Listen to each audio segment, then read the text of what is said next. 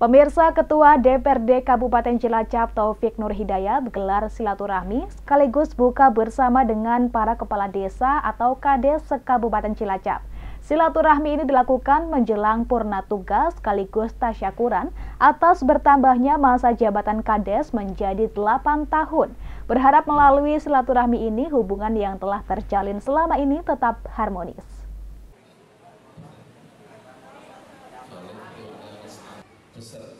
Silaturahmi berlangsung di rumah makan Simpang Damalang Cilacap.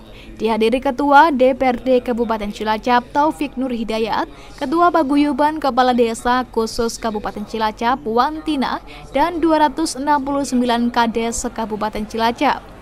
Silaturahmi bertujuan untuk menyatukan kembali setelah berbeda pilihan pada pemilu 2024 sekaligus tasyakuran atas hasil reformasi perpanjangan masa jabatan Kades hingga 8 tahun. Diharapkan melalui silaturahmi ini, para Kades lebih kompak dan semangat lagi di dalam memajukan desanya masing-masing.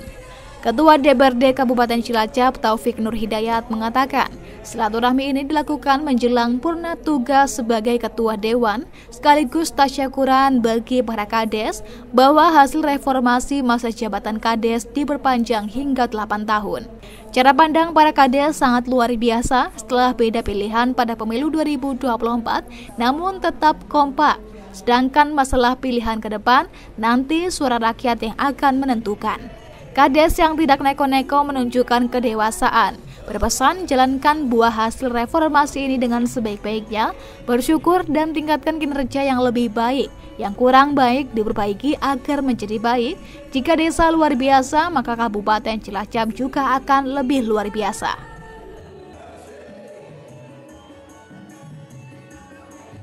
Berarti yang paling luar biasa bagi teman-teman itu cara pandang, cara berpikir. Ini kan non politik habis tempur politik. Wong hadisnya tidak tempur kok. Ikut ikut ngapain ya? Terus mau pilkada dong silaturahmi kok harus membatasi yang hadir kadesnya ya kades ya pilihannya rakyat. Aja pilihan rakyat. Masalah nanti itu rakyat yang akan menentukan jadi kehadiran teman-teman kades tanpa berpikir neko-neko itu berarti kedewasaan menjadi seorang pemimpin pesan saya begini, ini buah reformasi ya.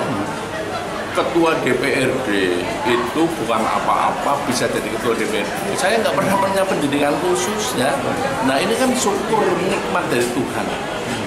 Kades, Bupati sama pesan saya buah reformasi ini kita jalankan dengan sebaik-baiknya dari rasa bersyukur kinerja yang sudah bagus tingkatkan menjadi bagus. Yang kurang bagus yuk diperbaiki. Dua tahun ini memperbaiki.